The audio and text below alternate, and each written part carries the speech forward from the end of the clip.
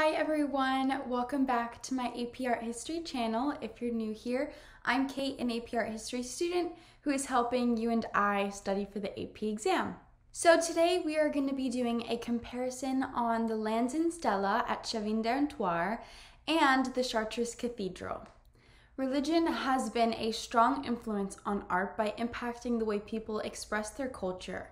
In Peru, we find the Lanzon Stela located in the Temple of Chavin de Huantar, which was built at the junction of two rivers, making it easier for travelers to get there.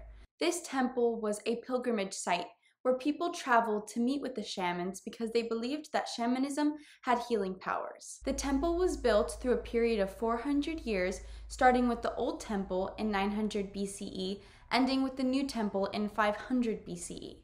The temple was made of roughly shaped stones varying in sizes, and outside had a U shaped sunken plaza used for large gatherings of worship. On the inside, there were various maze like tunnels with carvings on the smooth stones with representation of their deities. These tunnels had no windows, therefore, those that could travel through them used torches, creating a visual effect that enhanced the religious experience. These tunnels lead to the Lanzon Stela, their god, whom they worshipped. This godlike structure was designed in the shape of a spear and it was an anthropomorphic image, meaning it was partly human with animal characteristics. The art structure was intricate because it combined features of the natural and supernatural world.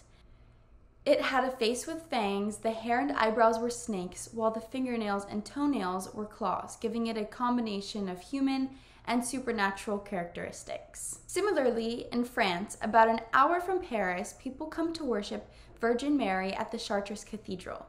There are a lot of similarities between the Lanzon Stela at Chavin de Huantar and the Chartres Cathedral. Just like the temple, the Chartres Cathedral was a pilgrimage destination because of a piece of linen known to be worn by the Virgin Mary when she gave birth to Jesus. Just like the Andeans who visited the Lanzon Stela to find healing powers, these people came to the Chartres Cathedral because of the healing powers they believed the cloth to have. Both the temple and the cathedral used U shaped floor plans for worship. However, the cathedral was a standard basilica, which was a U shaped cross floor plan. The cathedral was also reconstructed over 26 years because of a fire that occurred in 1194. It was built using limestone since it needed strong walls to support the weight of the vaulting ceilings. Unlike the temple that was dark with no windows, the cathedral design included beautiful stained glass windows which allowed lots of natural light to enter the chapel. The temple also had a darker and evil perspective on portraying their deities and gods. While the cathedral had an innocent and benevolent approach of showing their gods, specifically the Virgin Mary, because she symbolized to be a protector of danger, the central stained glass work was of Virgin Mary who was sitting on the throne of wisdom, very high up, which is like how the deity in the temple was placed to be 4.5 meters high.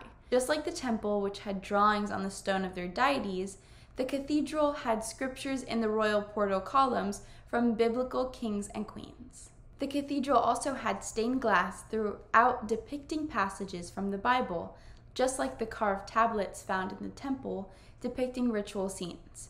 Finally, the Chartres Cathedral teaches people how the surrounding world can lead them to the spiritual path of understanding the divine God.